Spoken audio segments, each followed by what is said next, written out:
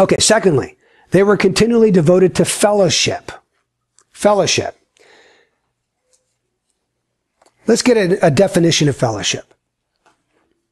If I were to ask you what fellowship is, you might say, well, isn't that what you guys do when you have coffee and donuts after church and you, you sit around and you socialize together? Fellowship is not socializing, although that's what we think it is. The root meaning of the word fellowship is to have in common. To have in common.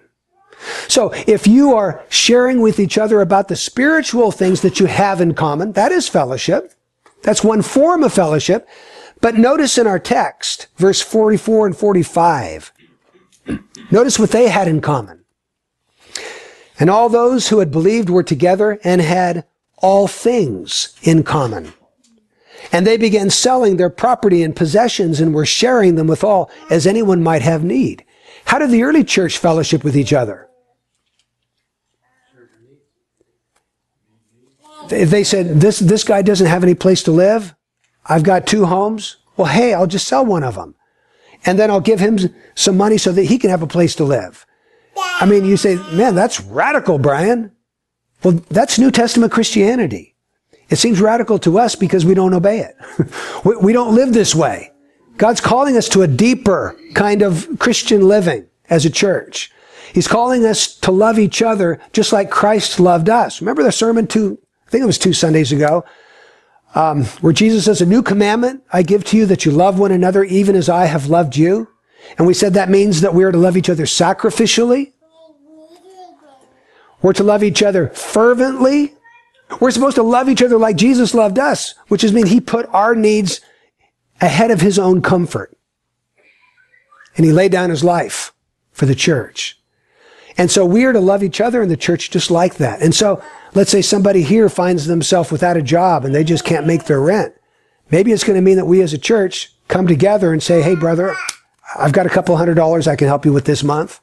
And another brother says the same thing. And before you know it, his rent's paid for that month.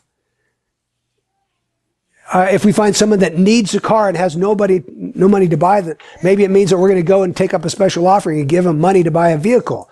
You see, it's going to mean that we care for each other and we look out for each other. That's really having all things in common. That's having fellowship with each other. And in addition to that, it means that when we gather, we do share the things of Christ in common. We speak about the things of Christ with each other.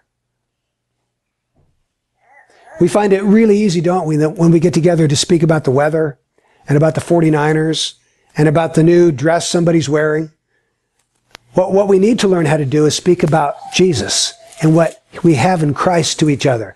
So when we have the Lord's Supper together, let's be thinking, how can I, how can I talk to someone about what God has been doing in my life, or what God has been doing in their life, or a scripture I've been meditating on, or a scripture I've been memorizing, or an evangelistic experience I've had, or maybe get some guys together and make plans on how we can bring the gospel to a particular community. See, that's, that's rich Christian fellowship right there. That's what we should be setting our sights on. Notice something else from the text. Verse 44. And all those who had believed were what? Together how often do you think those early Christians were together? Daily. 46 says, day by day,